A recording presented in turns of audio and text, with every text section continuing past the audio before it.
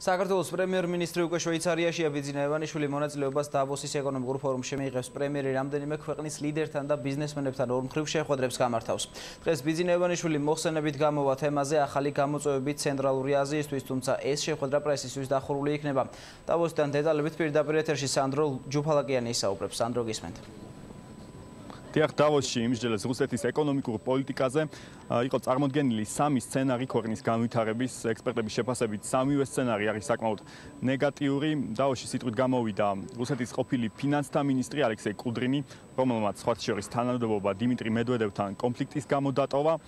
კუდრინის განმარტებით კუდრინის საკმაოდ პესიმისტური სცენარი აქვს რუსეთის ეკონომიკასთან მიმართებაში რაც შეეხება დიმიტრი მედვედევს. მან დააკავშირა რუსეთში არსებული პრობლემები სოფლიო ეკონომიკაში შექმნილ მდგომარეობას მედვედევმა დღესვე წავედ გააკრიტიკა ევროკავშირი და ისაუბრა პოსტსაბჭოთა სივრცეში არსებულ ინტეგრაციულ პროცესებზე.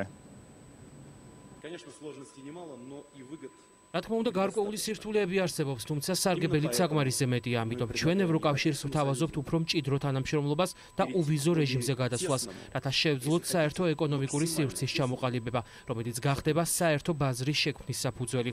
რადგან მაქვს შესაძლებლობა მინდა გავაკრიტიკო როგორც საკუთარი თავი, ისე ევროპელი პარტნიორები. ისინი ჩვენ არ გვისმენენ ხოლმე სავიზო რეჟიმთან არსებული საკითხები ძალიან გაიწელა. გლობალური ნედლეულის ბაზარზე კონjunktურის გაუარესება ერთ-ერთ უმთავრეს პრობლემად რჩება.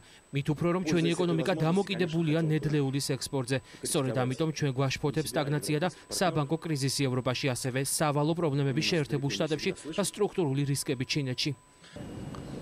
რაც შეეხება ქართულ დელეგაციას, ბიძინა ივანიშვილი უკვე შვეიცარიაშია, თუმცა მისი შეხვედრები დღის მეორე ნახევარში გამართება. შედგება სესია თემაზე ახალი გამოწვევები ცენტრალური აზიისთვის, თუმცა ჩვენი ინფორმაციით ეს სესია იქნება დახურული ჟურნალისტებისთვის. უკვე ხვალიდან გამართება ივანიშვილის ორმხრივი შეხვედრები, მათ შორის უკრაინის და შვეიცარიის პრეზიდენტებთან. რაც შეეხება დელეგაციის სხვა წევრებს, აქ ასევე იმყოფებიან მაია ფანჭიკიძე და გიორგი კვირიკაშვილი.